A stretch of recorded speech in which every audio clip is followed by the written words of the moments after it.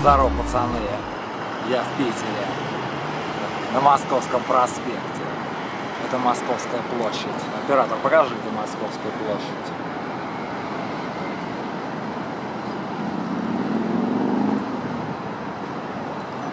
Вон там сзади меня это Дом Советов. Ну, в общем, эта площадь была заложена где-то в 30-х годах. Как-то так. И она, по-моему, до 68 -го года вообще никакого названия не имела.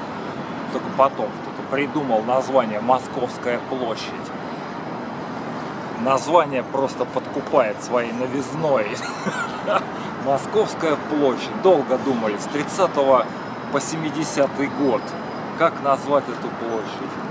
Ну, назвали бы как-нибудь там, не знаю, там, площадь там Петра Первого и его внуков.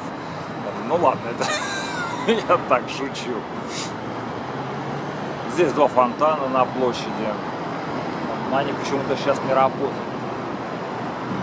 Кстати, вот это вот памятник Владимиру Ильичу Ленину, идеологу великому. Он, кстати, 8 метров. Вот эта вот статуя Ленина 8-метровая, а площадь вообще занимает этого памятника 16 метров. Вот этот вот Дом Советов, во времена, короче, Второй мировой войны, во время блокады, здесь был один из оборонных узлов. Тут доты стояли и все там прочее. Как бы. А после тут какое-то учебное минное поле было, тут собак там тренировали всяких там на разминирование и как бы исторически важное такое место. Ну а больше об этой площади тут сказать я ничего не могу. Вон там он роллеры какие-то ездят. Вот пришел, я сколько вот здесь нахожусь, этот чувак там что-то ездит, падает, встает, обратно ездит, там какой-то трюк хочет отработать. Уже пару раз хорошенько навернулся, полежал, встал, там кофе попил и обратно. Что вот он делает, я не могу понять. А сейчас я поеду в аэропорт Пулково и полечу в город Калининград, то есть Кёнигсберг, в Балтийском море ногу свою поломанную, травмированную лечить. Я сейчас нахожусь в Питере, в аэропорту Пулково. Вон, оператор, покажите, что это Пулково.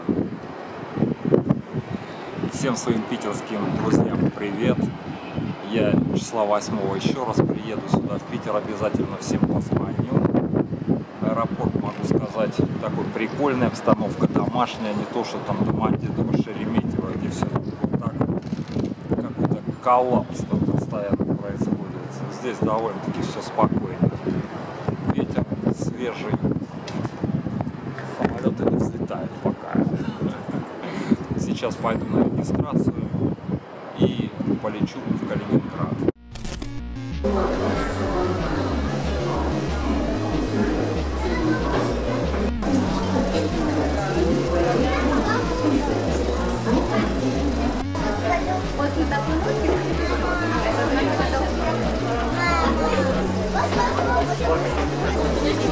Господа присяжные заседатели, лед тронулся.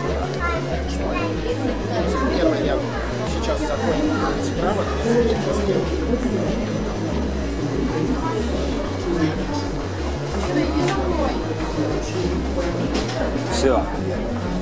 Идем на посадку. На посадку в самолет на Уральские авиалинии.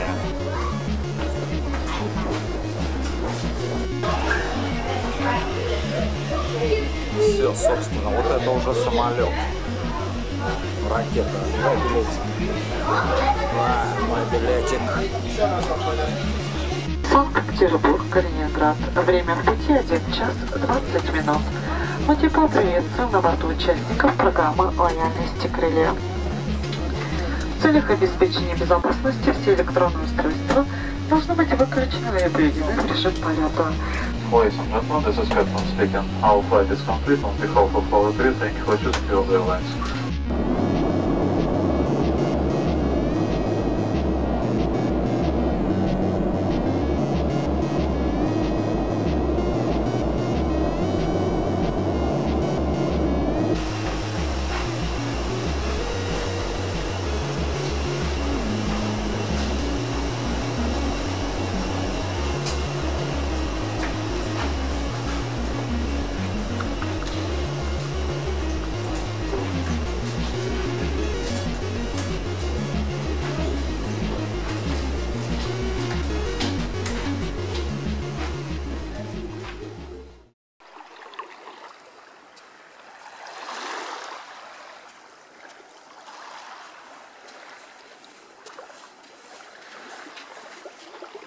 Добрый вечер, пацаны. Нахожусь сейчас на Курской косе. В этом году первый раз, вернее даже не в этом году, а вот как пандемия наступила, так больше я здесь и не был.